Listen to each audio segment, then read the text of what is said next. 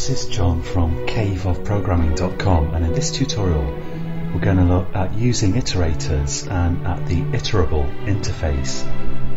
So let's say you've got a list. I'll make this a linked list and this could store any kind of object but I'll store strings here and I'll call that animals because I'll put animal names into it and I'll set that equal to a new linked list of string. And now the normal way to iterate through this list would be to use a for each loop. And um, a for each loop uses the for keyword as we've seen before, but it's called for each because you're doing something for each item in the list. And in lots of other languages, it actually uses the keyword for each, but in Java, it's for. So I say I declare a variable of the type of thing that's in the list and I put a colon and then the name of the list like this. And now I can do sysout animal. And of course I need to add some things to my list to actually make this work. So let's add some items into my list. I'll say animals.add fox and let's duplicate this line one two three that's enough. And I'll add in cat dog and rabbit. So if I run this no surprises here. It just outputs my list. Now before Java 5 there wasn't this kind of for each syntax. And the way to do it was, was using an iterator. And iterators still have their uses now which we'll take a look at. So let's let's put a comment here. This is um, modern iteration, uh, which is like um, post Java 5, or I should say Java 5 and later. Now, before Java 5, um, the way you do it was this. You take your list and you say iterator and that returns an object of type iterator with capital I. So I say iterator, I could call this it equals my list name, animals in this case, dot iterator, and I'll add the import there with Control Shift O. Now the reason I can do this on a linked list is because lists implement, and a lot of collections in general, implement the iterable interface. So let's go to the internet here and search for Java iterable. And the iterable interface just specifies that a class should have one method called iterator, which returns an object of the type iterator. And if we take a look at that, an iterator has a method hasNext, which tells you if there is a next item in the list. It has next, which returns the next item, and it also has remove, which removes an item. So the idea behind an iterator is that it can point at each item in the list in turn. And if I say, for example, string animal equals it dot next, and I run that, actually let's um, let's first. What did I do wrong here? Cannot convert from object to string. Oh yeah, iterator is actually a template type, so I need to specify the type of thing that it's going to point at here. And since I've got strings in my list, it's going to be an iterator of strings. And let's output this animal here. So I'll output the text that I return. And I'll just put a sysout here to create a blank line. Now that will get the first value in my list. Or at least it should if I get rid of my errors. Oh yeah, I've got two strings called animal here. So let's say, let's just call this value and finally I think I can run it. So my output here is this is outputting the first item in my list.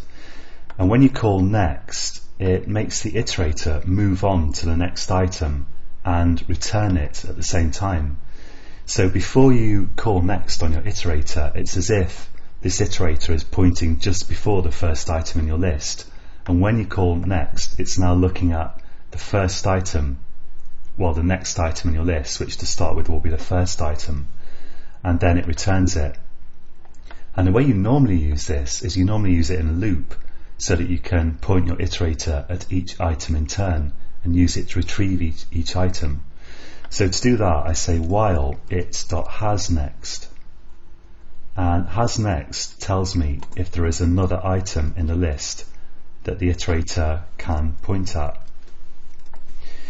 So while your iterator has a next item to, to point at, move it to point at that next item and return the item. And this will display my entire list. Here we go. Now the advantage of this is that you can use it to remove items if you want to. So let's say for example if value dot equals cat then I can say okay I want to remove this item so I can say it dot remove so remember when I call it dot next it's going to move it to point at the next item at the same time that it returns that item and I can then say, okay, if the value that you just returned and that you're therefore pointing at is equal to some particular item, then remove that item. So if I run that now, okay, we see um, cat is still output because I'm outputting it before I remove it here.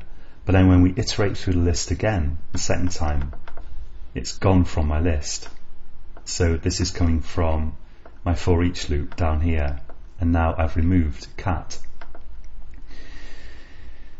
And um, I can't do that with a normal for each loop. For example, if I say um, in a normal for each loop, um, animal animals dot remove, and I try to remove an item, for example, using an index like two. If I do that, I get a concurrent modification exception, meaning I'm trying to modify the list concurrently with iterating through it and that's not allowed. So I can't do that. If you want to remove items from a list while you're iterating through it you have to use a iterator. And a couple more things to mention here. One thing is that um, for each actually uses iterators behind the scenes so if you implement iterable, which we'll get onto doing probably in the next tutorial, in your own class, you can your own collection class, you can then use a for each loop to iterate through it. Um, so even though there's no mention of iterator here in this modern syntax, it's in fact doing this behind the scenes. So this is still very much an integral part of Java. And the other thing to mention is that if you want to add items to a list while iterating through it, then instead of using iterator, use list iterator, and that will return you a list iterator. And list iterator, in fact, does allow you to add items to your list. So if I search for list iterator here, Java, then we can see that list iterator has a add item as well as remove and it also has a previous method which um, is the opposite to next previous will rewind the iterator to point at the item before the one that it's currently pointing at.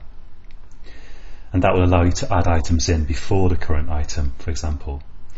Okay, so that's it for this tutorial. And by the way, the reason the reason that I used linked list here was because although you can add items or remove items from the middle of an array list, it's not efficient to do so.